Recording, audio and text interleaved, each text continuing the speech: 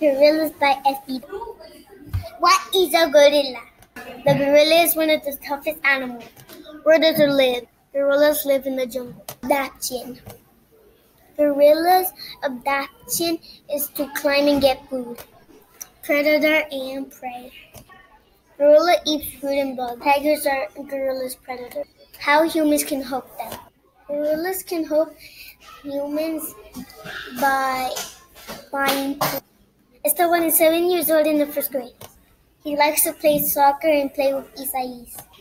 This nonfiction book was written and illustrated on May 18, 2022 by this amazing on author, High Tech Elementary, Notes, North County. Office, tough to be brave. That how animals can live.